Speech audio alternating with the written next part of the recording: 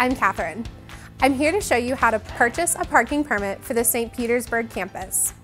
Parking permits need to be purchased from your home campus, but St. Petersburg campus permits can be used on Tampa and Sarasota campuses in their student parking areas, and permits from other campuses are welcome to park in our green parking. To buy a parking permit if you are a St. Pete student, you would go to the St. Petersburg campus homepage, then to Campus Resources and USF Bookstore, Dining, and Parking. Select Parking and Transportation. You can check out current parking permit rates in the USF St. Petersburg campus parking brochure linked on this page. If you find you have signed into USF Tampa campus parking website, there's a link at the bottom of the page that directs to the St. Petersburg campus parking portal. The parking and transportation page shows our contact information, as well as information on parking at the USF St. Petersburg campus. Select Purchase a Parking Permit online. On this page, at the bottom, select Purchase a Permit. If you happen to receive a citation, which we know would never happen to you, this is where you would also pay or appeal it. Sign in with your net ID. If you're living on campus, the permit should show as resident. If you're living off campus, the permit should show as commuter. If you are not seeing either of these choices or the choice is incorrect, please contact Parking Services by phone or email so we can update your account.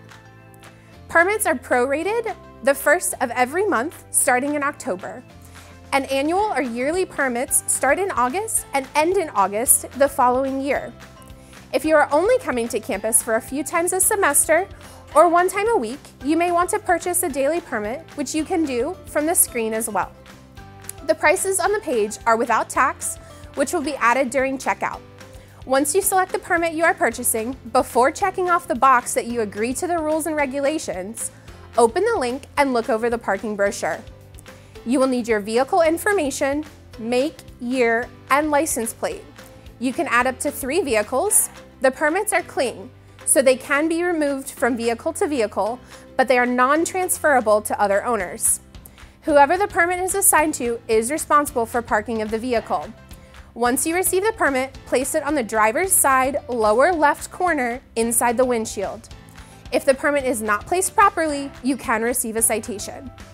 All permits are mailed unless you live on campus. So on the next page, you will add your mailing address. Students who live on campus can pick their permits up at the Student Financial Aid Services office in Bayboro Hall, room 132. You can pay by Visa, MasterCard, Discover, or American Express without any additional fees. If you prefer to pay by check, you will need to either mail us a check or a money order along with the information found on our website. The form is also found on the website, and you can visit us at Bayboro Hall. Cash is not accepted. Once your purchase is complete, you will receive a temporary permit that is good for two weeks by mail. If you can print that out and use it until your parking permit arrives in the mail. Happy parking and thank you for watching.